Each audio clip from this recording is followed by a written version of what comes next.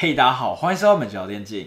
好，我们今天这集主要带大家认识一下一些市面上比较常见的这个 RGB 风扇的这些接头的差异，以及一些我个人觉得在组装这些 RGB 风扇的时候算是还蛮实用的小工具。那其实我们在上一集影片已经大家认识了，就是主机板上面这些 RGB 跟 ARGB 的针脚的一些差异。简单说，十二伏特 RGB 的针脚通常他们会是四 pin 的，而比较新的五伏特 ARGB 则是使用了三 pin 的界面。那这边要注意的是，技嘉他们比较早期的主机板，他们在五伏特的这个三只脚的 ARGB 的针脚是连在一起的。那这样的话，就跟一般市面上常见的 ARGB 的接头是不太相容的，需要透过转接方式来进行使用。所以这个部分就让蛮多早期做 RGB 风扇厂商蛮头痛的，因为三大厂在 ARGB 风扇这个界面部分并没有一个统一的标准。不过在续上次我开箱他们主机板之后，我发现后来技嘉推出了新的板子。在五伏特 ARGB 的针脚部分也是改为跟其他厂商是相同规格，就是四只脚中间空一只这样子的界面。所以如果你是要玩整机同步灯效的话，你就要特别注意一下自己的主机板上面有支援哪一种规格。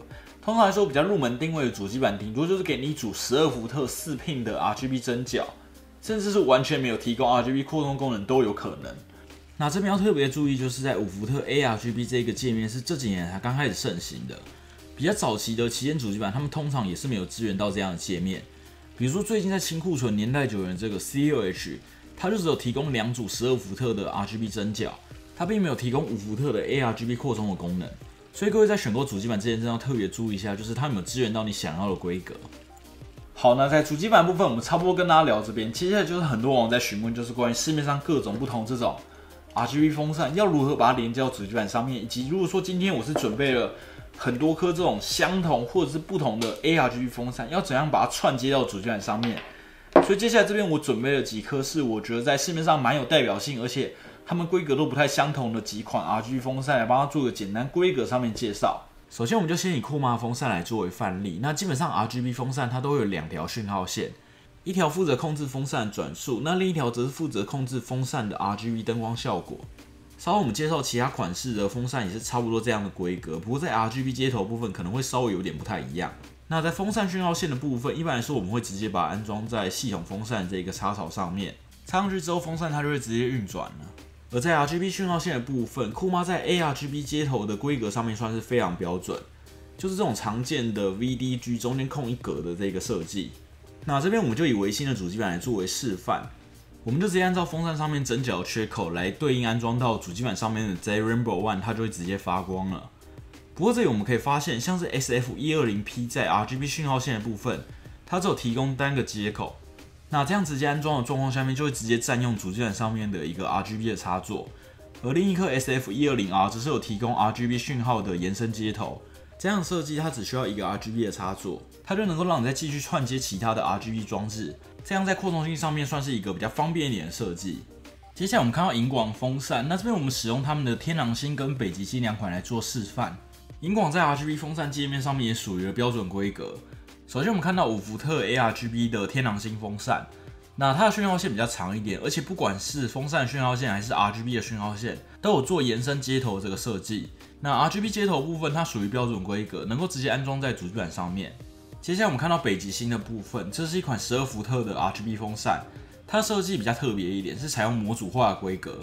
需要先使用原厂附赠专属的接头来把它转化成风扇的讯号线跟 RGB 讯号线。那比较特别的是，它连接到第一颗之后，再串接其他风扇的时候，只要透过专属的讯号线就可以直接进行串接，它可以同步控制风扇转速跟灯光效果。这个设计我觉得算是还蛮不错的，可以让机壳内部看起来不会那么凌乱。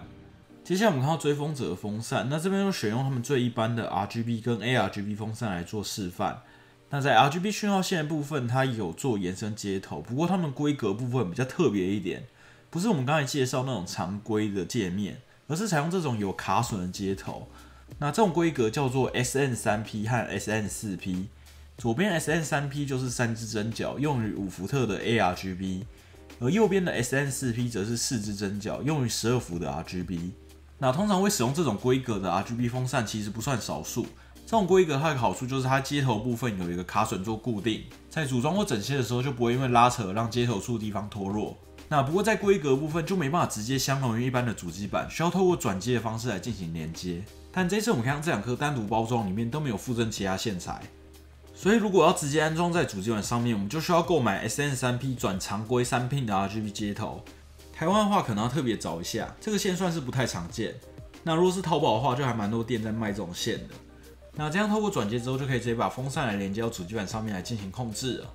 接下来是联力的铝框 ARGB 风扇，那这款也算是还蛮特别的。它虽然说它是采用了五伏特 ARGB 的配置，但它接头处的部分却采用了 SN4P 的规格。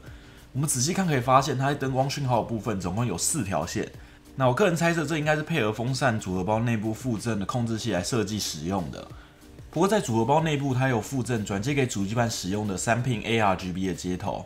那这边我们经过实测，它确实能够转接给主机板作为使用。那我知道看到这边应该会有一些聪明观众想到，那这样是不是我可以直接拿 SN4P 的转接线来转接到主机板上面的三 pin ARGB 插座？反正我们用四 pin 转三 pin，中间本来就有一只脚是空接的。那当然这种转接方式，我在做影片的时候有想到，不过经过我实测之后，发现这样子硬转是没办法直接点亮的。那我大概研究一下，没办法点亮原因，就是因为一般 ARGB 风扇的针脚顺序为 VD 空接 G。但是联力这一组风扇，他们原厂提供的转接线顺序为 V 空接 G D，所以如果我们直接拿 SN4P 的转接线来硬转，会因为针脚空接的顺序不同，而造成没办法点亮这样现象。那这里我们就一定要使用原厂的转接线来进行连接。这一组风扇算是一个比较特殊一点的例子。